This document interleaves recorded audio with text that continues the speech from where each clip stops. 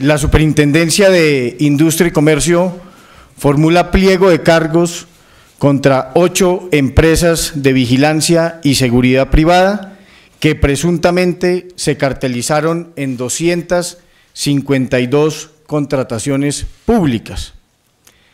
El pliego de cargos se formula contra las empresas Guardianes, Starcop, Covasec, Sentinel, Expertos, Incevic, Seharpi y Security Management Group ante la presunta cartelización empresarial, colusión o acuerdos anticompetitivos en 252 procesos de contratación pública adelantados ante 149 entidades estatales en todo el territorio nacional durante los años 2010, 2011 y 2012. Adicionalmente, la superintendencia formuló pliego de cargos contra 32 personas naturales, entre accionistas, administradores, empleados y exempleados de las mencionadas sociedades y cooperativas de vigilancia y seguridad privada. La investigación preliminar que dio origen a este pliego de cargos se inició en el año 2011 a raíz de una denuncia presentada por el Instituto Colombiano de Bienestar Familiar, según la cual varias empresas que se presentaban como supuestos competidores individuales estaban actuando de manera coordinada en la presentación de sus ofertas en una licitación pública ante dicha entidad.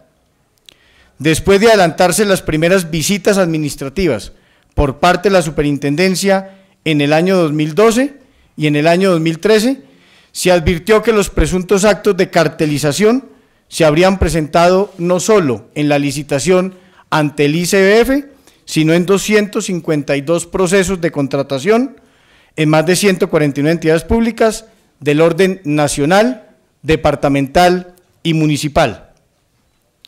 La presente investigación de la superindustria involucra a empresas particulares por presuntamente haber simulado ser competidores independientes en las licitaciones, cuando en realidad habrían actuado de forma coordinada y concertada, engañando a las distintas entidades públicas ante las cuales se adelantaban dichos procesos licitatorios. La investigación cuenta actualmente con un delator en su condición de ex representante legal de una de las compañías investigadas, quien se acogió al programa de beneficios por colaboración, confesó su participación y aportó pruebas sobre la existencia, funcionamiento y seguimiento de los compromisos adquiridos al interior del presunto cartel empresarial.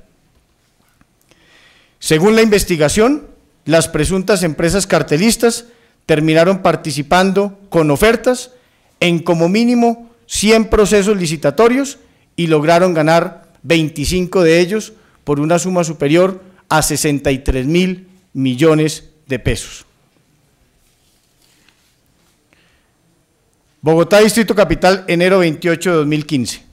El superintendente delegado para la protección de la libre competencia ad hoc en ejercicio de sus funciones de inspección, vigilancia y control en materia de protección de la libre competencia, mediante resolución 2065 del 28 de enero de 2015, formuló pliego de cargos contra las empresas Guardianes Compañía Líder de Seguridad Limitada, Cooperativa de Vigilantes Starcop CTA, Covasec Limitada, Sentinel de Seguridad Limitada, Experto Seguridad Limitada, Compañía Interamericana de Seguridad y Vigilancia Privada Incevic Limitada, Cooperativa de Trabajo Asociado CEJARPI CTA y Security Management Group por presuntas infracciones al régimen de la libre competencia derivadas de su aparente cartelización en más de 252 procesos de contratación pública ante 149 entidades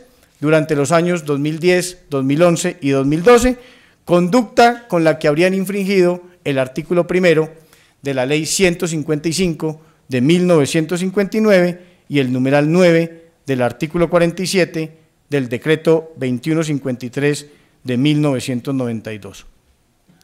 Adicionalmente, la Superintendencia de Industria y Comercio formuló pliego de cargos contra 32 personas naturales que en el pasado o en la actualidad han hecho o hacen parte de las empresas y cooperativas investigadas en su condición de representantes legales, socios, miembros de juntas directivas, administradores, empleados y exempleados, quienes aparentemente tuvieron participación en la creación, ejecución, implementación y seguimiento del presunto cartel empresarial.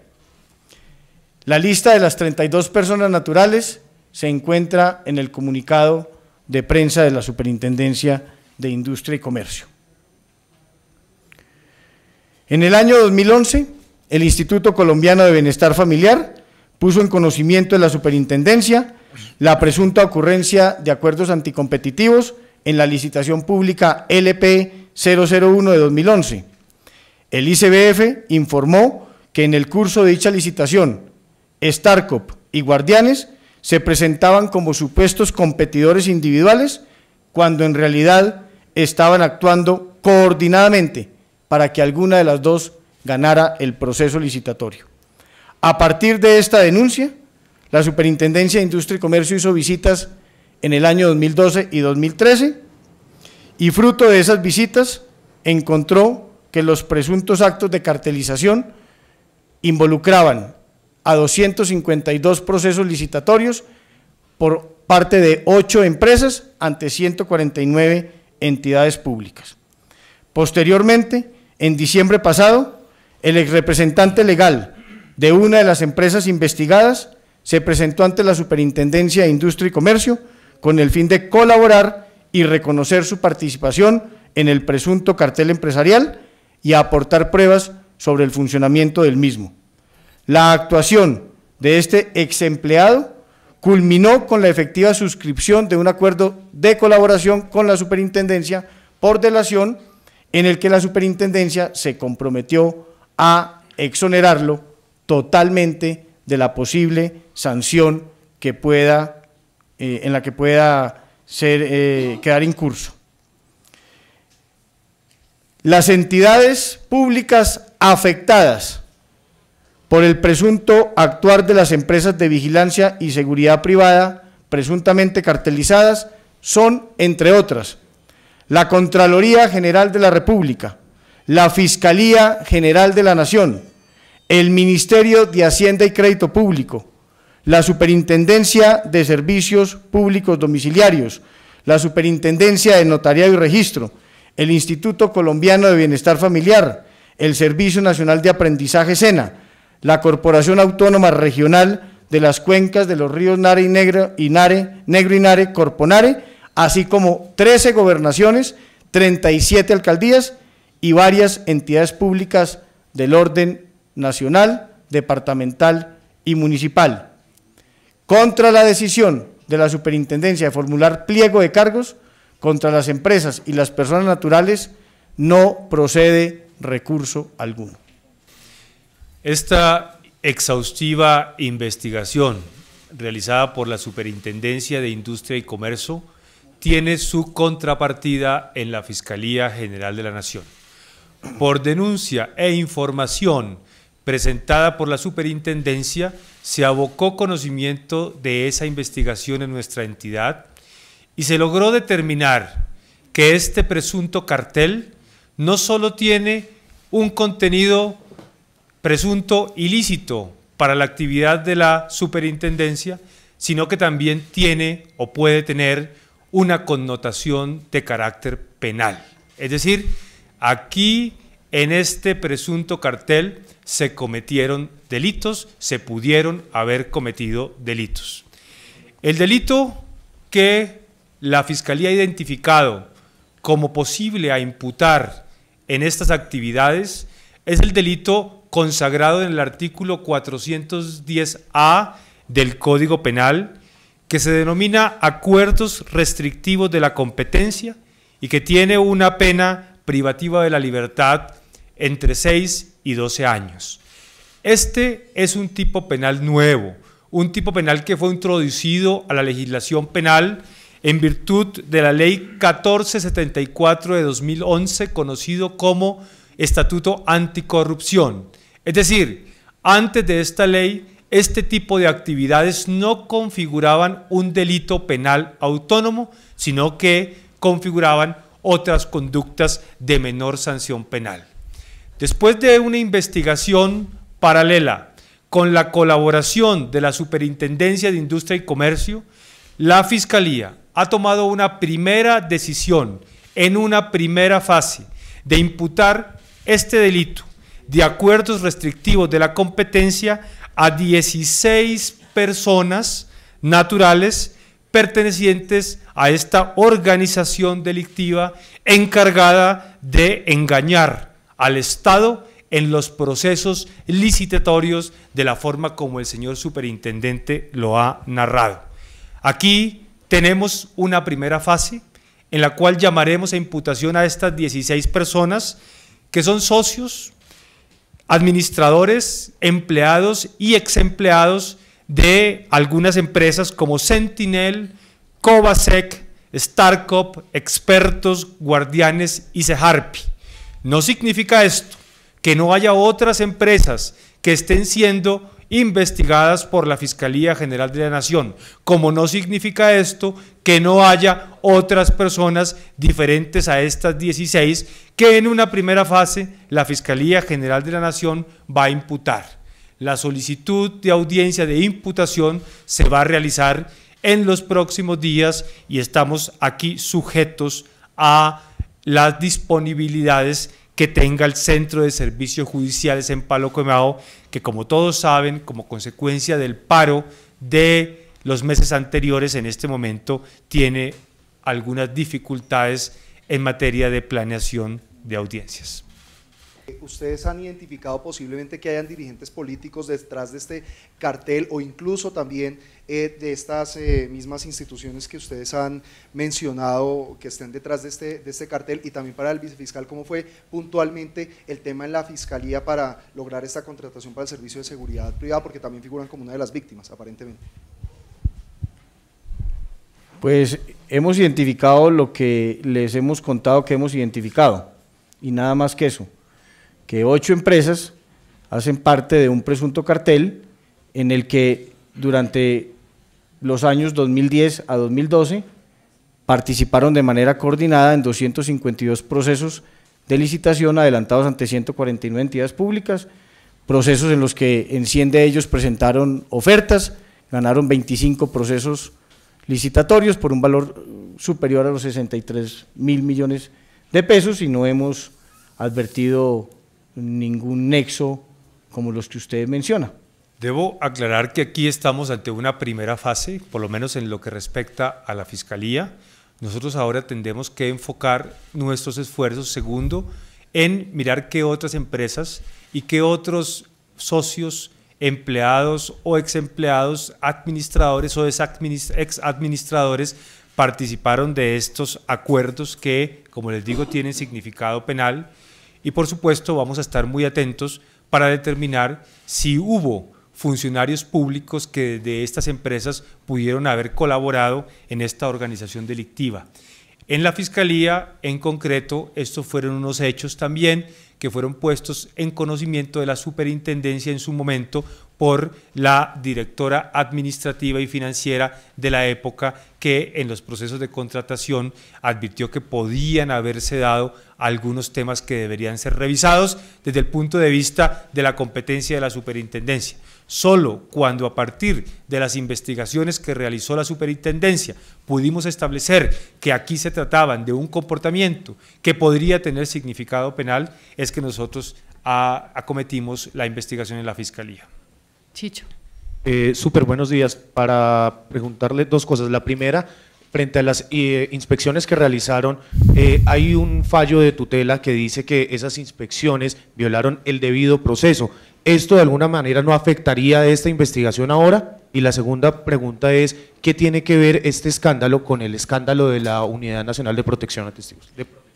Mire, em, la superintendencia cuando realizó las visitas en el año 2012 y 2013, recaudó documentos, eh, documentos que están en computadores, correos electrónicos, y eh, la superintendencia eh, ha sido objeto de una especie de carrusel de tutelas para pretender, en el que estas empresas de seguridad privada pretenden enervar o poner entre dichos las pruebas que logró obtener la superintendencia en esas visitas administrativas.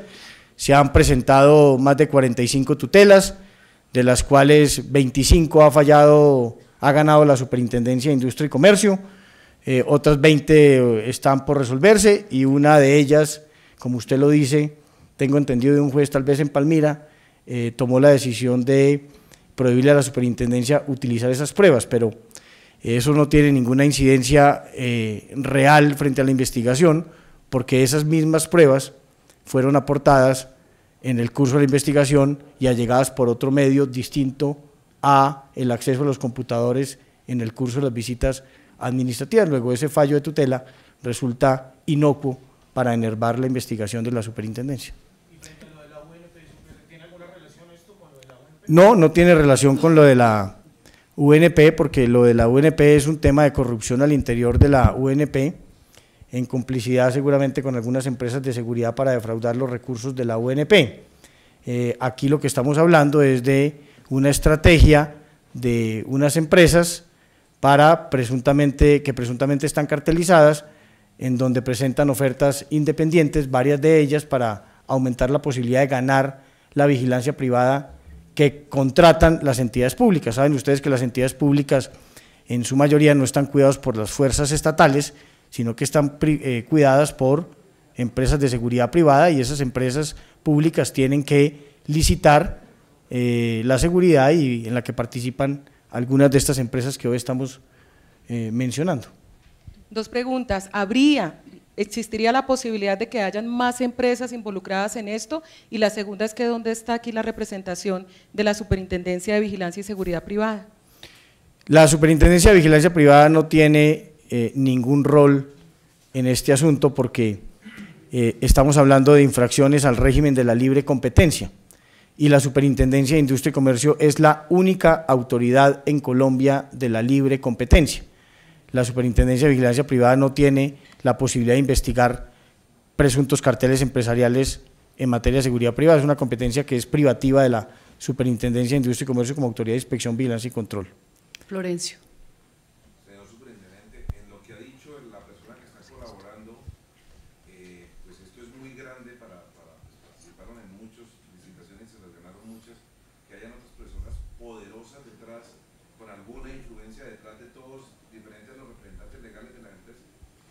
Pues es posible, ya lo dijo el, vicefiscal, que eh, existe una lógica posibilidad de que incluso hayan funcionarios públicos involucrados, pero hasta ahora, eh, en lo que tengo entendido, la Fiscalía no ha involucrado a ningún funcionario público y nosotros tampoco hemos investigado funcionarios públicos, pero es posible que haya gente al interior de las empresas estatales eh, ayudando a facilitar que eh, los presuntos cartelistas obtengan los beneficios por ellos esperados y pactados.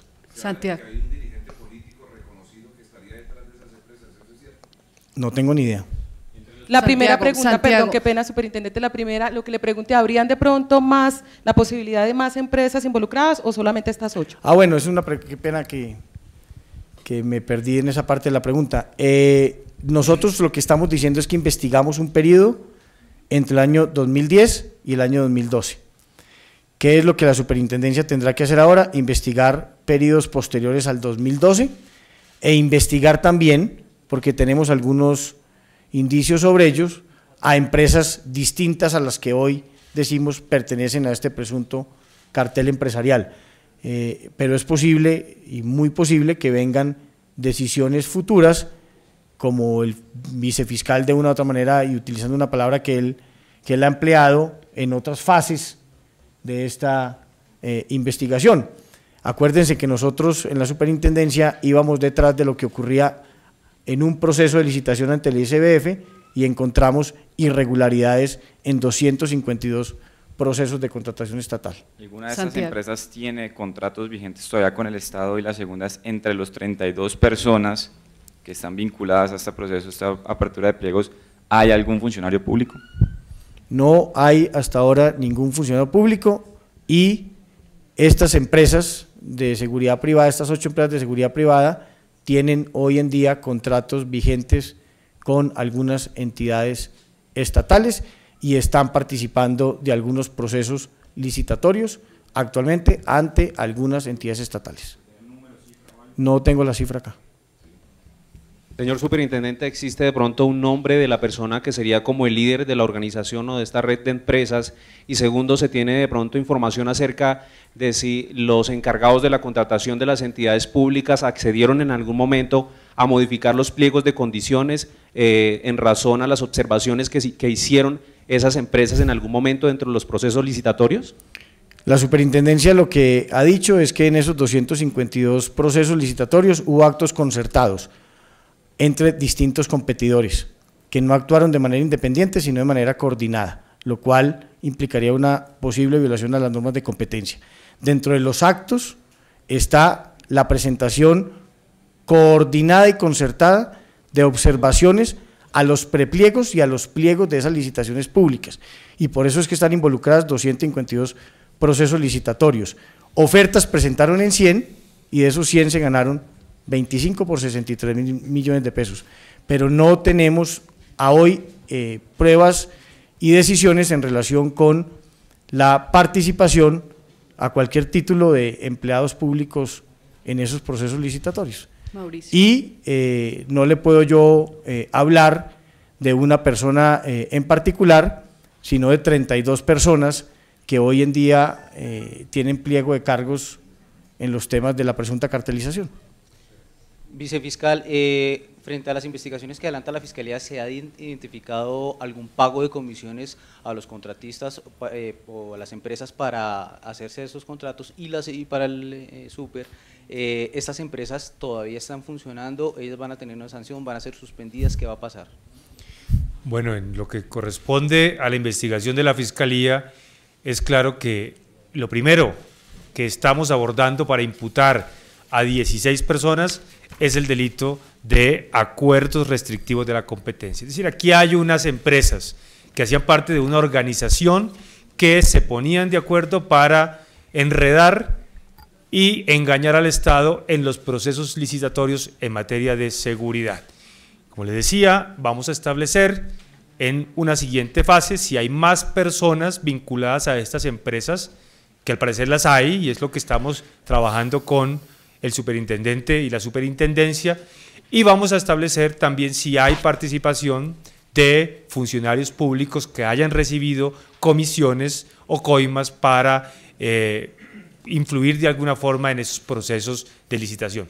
Eso es lo que yo puedo decir al respecto. Mire, por el lado de las posibles sanciones, hoy no le estamos anunciando al país sanciones, sino la formulación de unos pliegos de cargos contra ocho empresas, 32 personas naturales y en el caso de la Fiscalía, la imputación en, o la convocatoria de audiencia, imputación de cargos para 16 personas, no sanciones. De llegarse a determinar finalmente, después de agotar todas las etapas de la investigación, que existieron actos anticompetitivos, las posibles sanciones para cada una de las personas eh, eh, jurídicas de las empresas que hace parte del presunto cartel empresarial serían de, hasta 64 mil millones de pesos por cada proceso licitatorio y para las personas naturales de hasta 1.288 millones por cada proceso licitatorio, lo que obviamente eh, advierte que de haber sanciones, pues serían sanciones pues millonarias. Flechas.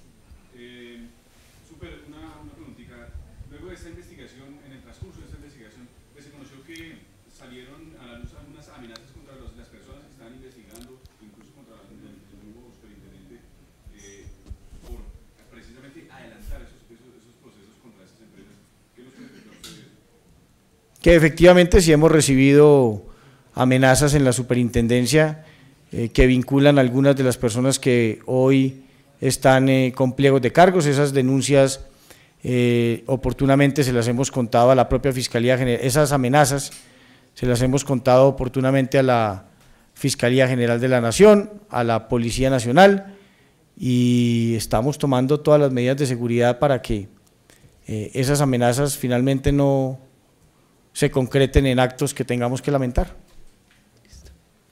Chicho.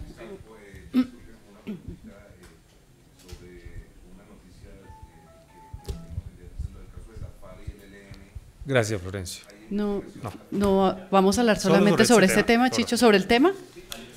Vice-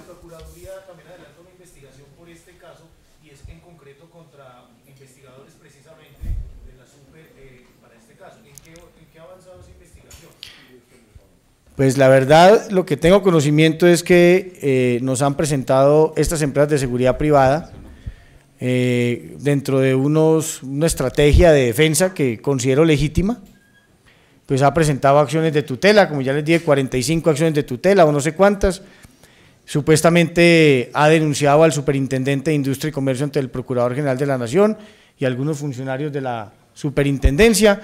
También tengo entendido que eh, llegó un derecho de petición donde uno de ellos amenaza con denuncias penales al superintendente y a la gente de la superintendencia, pero pues estamos acostumbrados a eso y daremos las explicaciones de nuestro actuar ante la autoridad que lo requiera. Eh, vicefiscal, a propósito del conocimiento que tenemos de esas amenazas en contra, inclusive del mismo superintendente de industria, ¿se va a adelantar una investigación? ¿Qué van a hacer frente a este tema en específico, vicefiscal? Bueno, es claro y tiene que quedar claro que esta es una investigación que hemos venido coordinando Fiscalía y Superintendencia. Con lo cual, la Fiscalía está muy al tanto de todo lo que extraprocesalmente, como se ha presentado en este caso, ha venido sucediendo. Extraprocesalmente me refiero a las amenazas, presuntas amenazas que se habrían dado contra miembros funcionarios de la superintendencia. Nosotros estamos muy atentos paralelamente a estos procesos para avanzar o poder avanzar en las investigaciones. Aquí que se tenga en cuenta que las hipótesis que pretende investigar la superintendencia son hipótesis que también está investigando la Fiscalía. Y nosotros como Fiscalía vamos a avanzar en las investigaciones en el ámbito de nuestras competencias y hasta donde de lo que se obtenga en el proceso sancionatorio de la superintendencia podamos nosotros entender que tiene relevancia penal en la Fiscalía. Pero en todo caso, estamos muy atentos a cualquier actividad, cualquier maniobra que pretenda poner en entredicho esta investigación, que es una investigación conjunta. Eh, Colegas, muchas gracias. Eh, una pregunta final. Eh, perdón, superintendente. Eh, ¿Se está haciendo el rastreo de estos recursos? Se tienen que estar eh, llevando estos recursos al sistema financiero. ¿Saben ustedes si lo sacaron del país estos recursos? Si eso eh, se va a investigar o va a proceso de No tengo esa información y no es objeto de la investigación. Lo que es objeto de la investigación es determinar si hay o no un cartel empresarial en materia de seguridad privada que involucre a las empresas y personas a las que les hemos formulado el pliego de cargos después de una indagación preliminar que por su complejidad duró más de tres años en la Superintendencia de Industria y Comercio y que lleva año y medio aproximadamente en la Fiscalía General de la Nación. ¿Quiénes de estas personas que ya están plenamente identificadas? A ver, lo primero que tengo que decir es que vamos a avanzar en esta primera fase, como les decía, ya hay unas hipótesis concretas de la Fiscalía, ya nosotros consideramos que aquí se pudieron cometer delitos, vamos a intentar avanzar en esta primera fase.